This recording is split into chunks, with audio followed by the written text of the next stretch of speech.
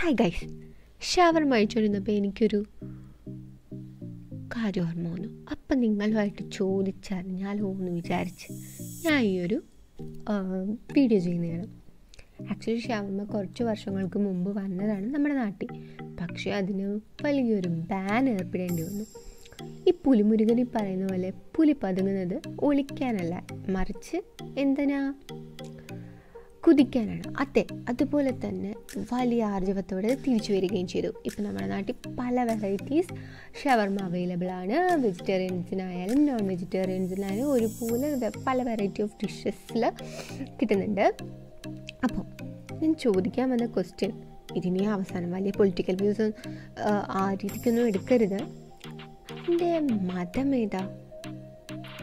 ആദ്യത്തെ വേർഡ് സൂചിപ്പിക്കുന്നത് ഇതൊരു മുസ്ലിമാണ് പക്ഷെ ലാസ്റ്റ് വേർഡ്സ് പറയുന്നത് ഹിന്ദുവിനെ തന്നെ ഒരു ജാതിയാണ്.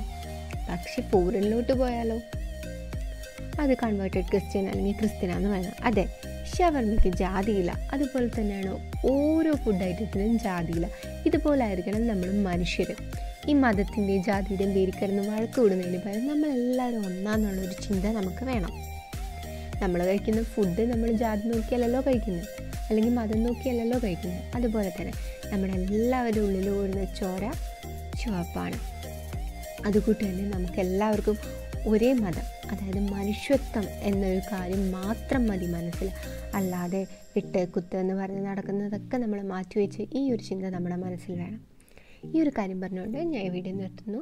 താങ്ക് യു ഇതുപോലെ പല വീഡിയോസും ഇനിയും വരുന്നതായിരിക്കും. നിങ്ങൾക്ക് ഈ വീഡിയോ ഇഷ്ടപ്പെട്ടു എന്നുണ്ടെങ്കിൽ ഷെയർ ചെയ്യുക ലൈക്ക് ചെയ്യുക സബ്സ്ക്രൈബ് ചെയ്യുക. Thank you